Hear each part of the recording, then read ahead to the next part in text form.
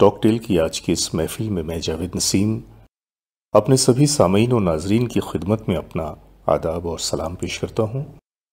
और आज के एपिसोड में हमारे मेहमान हैं जनाब जफ़र इकबाल। अपने खूबसूरत अंदाज कलाम से इन्होंने अपनी एक इनफरादियत हासिल की है और शायरी के उफक पर सुरैया सितारे की तरह नज़र आते हैं।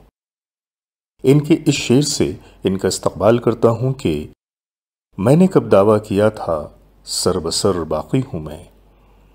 मैंने कब दावा किया था सर बसर बाकी हूँ मैं? पेश खिदमत हूँ तुम्हारे, जिस कदर बाकी हूँ मैं।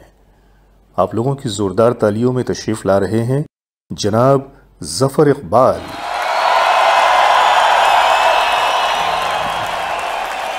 अगरचे सारी खराबी तेरे सबब से है गिला जो है तो खुद अपने ही रोजो शब से है। मैं क्या बताऊँ कि है किस गुमान पर ये उम्मीद? मैं क्या छुपाऊं कि ये इंतज़ार कब से है?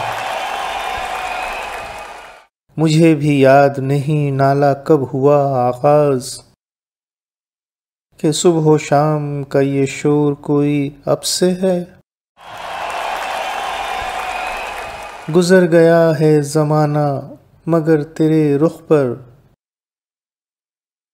गुजर गया है जमाना, मगर तेरे रुख पर।